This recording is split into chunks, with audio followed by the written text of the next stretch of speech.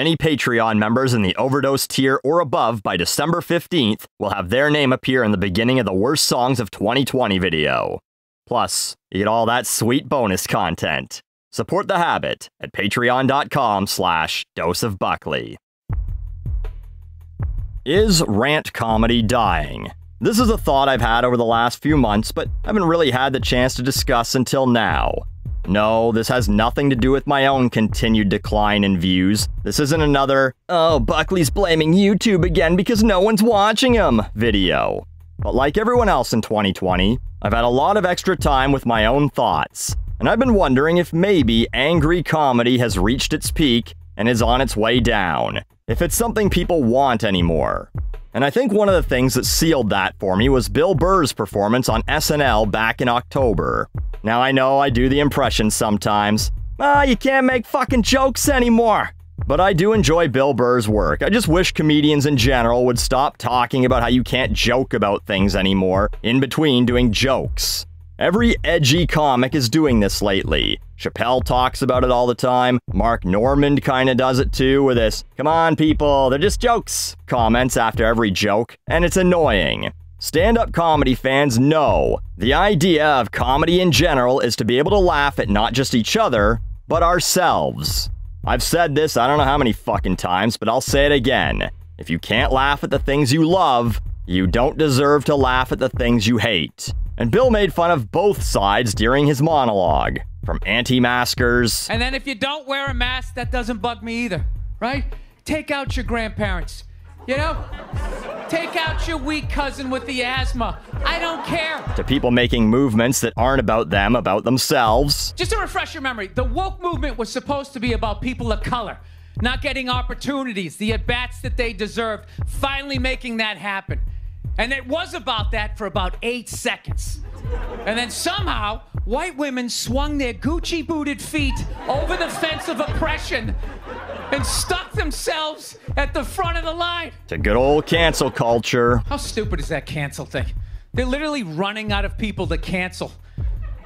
They're going after dead people now. They're trying to cancel John Wayne. It's like, yeah, dude, God did that 40 years ago. And of course, the now infamous comments about Gay Pride Month. The month of June is Gay Pride Month. That's a little long, don't you think? For a group of people that were never enslaved.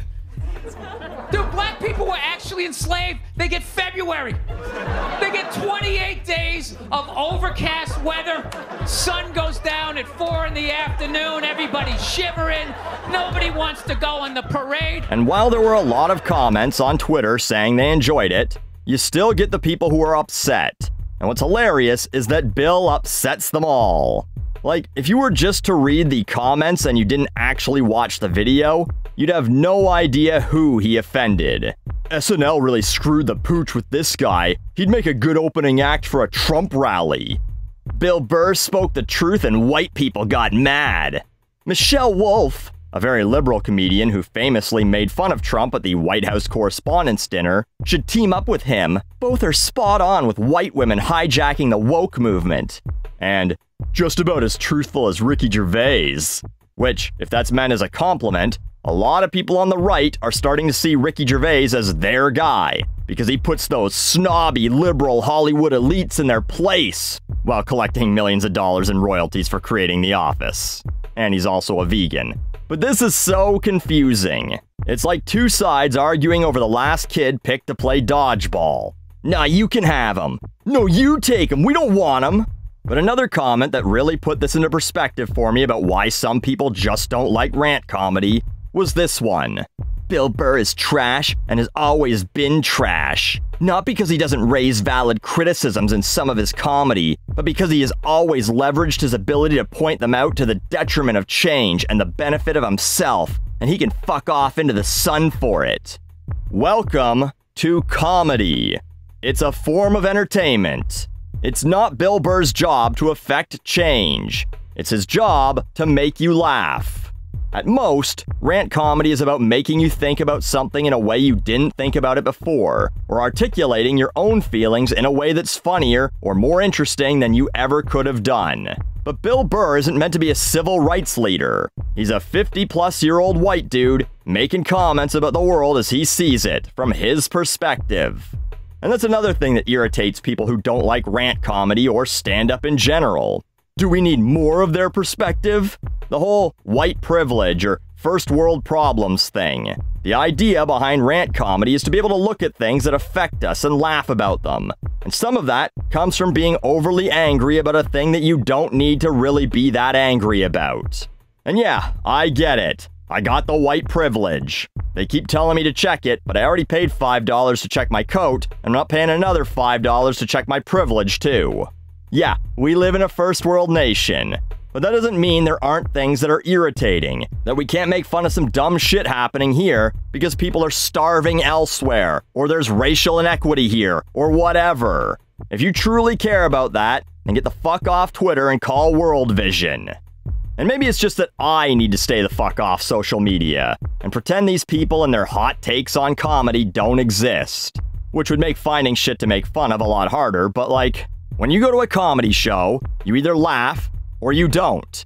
And anyone who talks or tries to argue with the comedian gets told to shut the fuck up either by the comedian themselves or the audience, or the staff makes you leave. You don't get to make comments on their jokes as they're telling them. If every comedy club was Twitter, it would be the most irritating fucking thing ever. Like, imagine George Carlin being alive now. People say shit like, the world needs George Carlin now more than ever. But I can see it now. George making fun of modern Democrats and Republicans, with both sides going, yeah, but the other's worse. You should have just stuck to making fun of the one side. Or, you made fun of my side for 46 seconds more, so clearly you're one of them. And then people get mad when you don't spend an hour talking about every single option or possibility.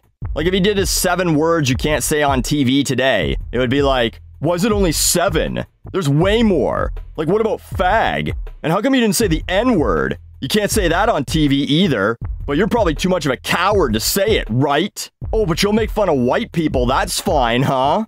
George would be begging to go back in the fucking ground.